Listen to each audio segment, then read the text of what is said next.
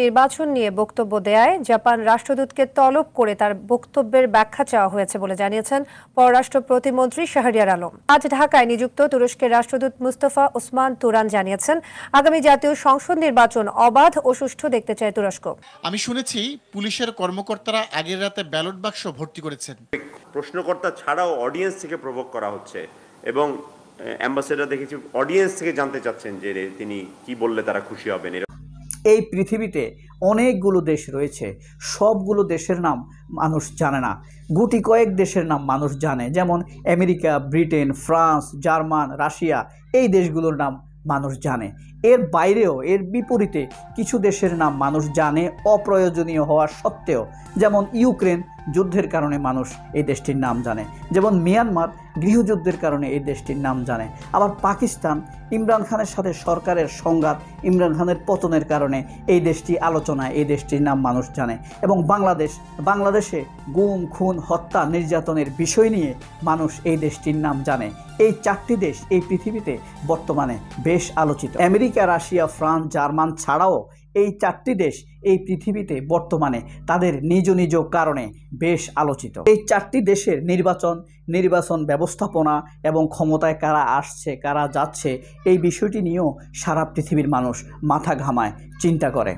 দুই হাজার তেইশ সালের পহেলা আগস্ট মিয়ানমারের নির্বাচন কিন্তু মিয়ানমারের কয়েকটি প্রদেশে স্বাধীনতা আন্দোলন চলছে। তারা স্বাধীনতা চায়। আরাকান, সাগাইন, মিয়ানাও সহ বেশ কিছু রাজ্যে তাদের চলছে স্বাধীনতা আন্দোলন। সেই আন্দোলন এতই তীব্র হচ্ছে, মিয়ানমারের সেনাবাহিনী এই আন্দোলন এবং যুদ্ধ মোকাবেলা করতে হিমশিম খাচ্ছে। এই রাজ্যগুলো তাদের স্বাধীনতা আন্দোলনের দাবিকে এত শক্তিশালী পর্যায়ে নিয়ে গিয়েছে, পৃথিবীর অনেক দেশ তাদেরকে সমর্থন দিতে শুরু করেছে।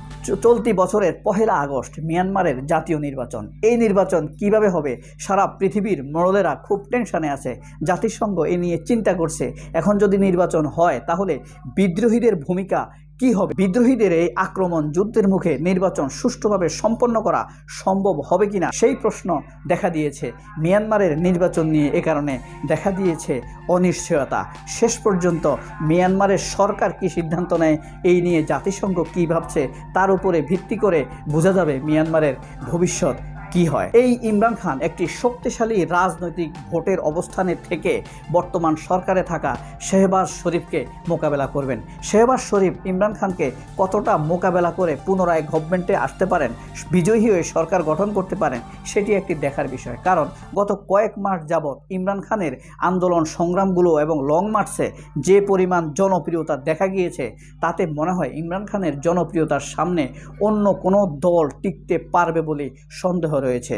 কিন্তু পাকিস্তানের সরকারকে নিয়ন্ত্রণ করা আমেরিকা তথা বিশ্বের কিছু শক্তিশালী দেশের জন্য খুবই প্রয়োজন, যে কারণে তারা ইমরান খানকে নাও চাইতে পারে।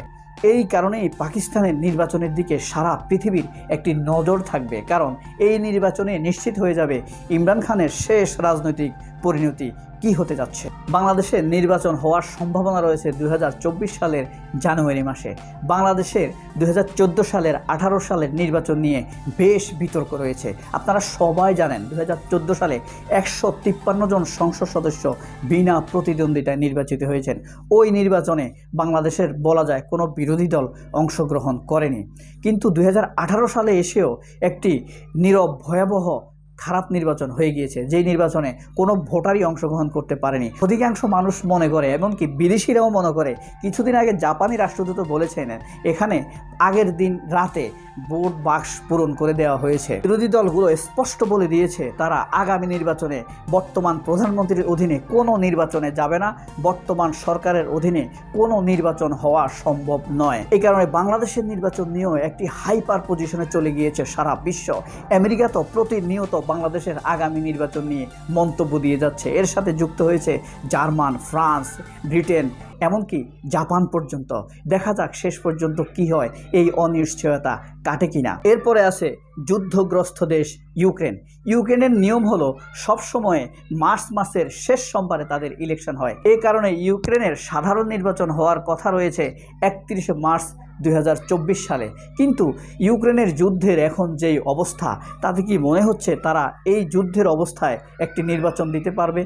তার উপরে তাদের ভয়াবহ দুর্নীতির অবস্থা প্রকাশ পেয়েছে তাদের বড় বড় রাজ্যগুলোর গভর্নর, এমনকি রাজধানীর গভর্নরকে পর্যন্ত এই দুর্নীতির কারণে সাসপেন্ড করা হয়েছে। এবং তাদের রন্ধ্রে রন্ধ্রে দুর্নীতি, এই যুদ্ধের সময় আমেরিকা তথা সমগ্র পশ্চিমা এরিয়া থেকে ইউক্রেনের জন্য যে পরিমাণ সাহায্য এসেছে, তা বাংলাদেশের রিজার্ভের প্রায় পাঁচ গুণ।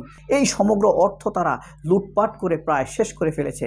এই যুদ্ধের অর্থ দিয়ে তারা বিদেশ ভ্রমণ করছে প্লেজার ট্যুর করছে। তাদের ঘুষ দুর্নীতি কিন্তু থেমে থাকেনি। যদিও আগে থেকে ইউক্রেন একটি দুর্নীতিগ্রস্ত দেশ হিসেবে পৃথিবীতে সমগ্র ইউরোপে পরিচিত ছিল। এই চারটি দেশ, বাংলাদেশ, পাকিস্তান, মিয়ানমার, ইউক্রেন, সারা পৃথিবীতে এই চারটি দেশের নির্বাচন নিয়ে ভাবছে, তারা টেনশন করছে।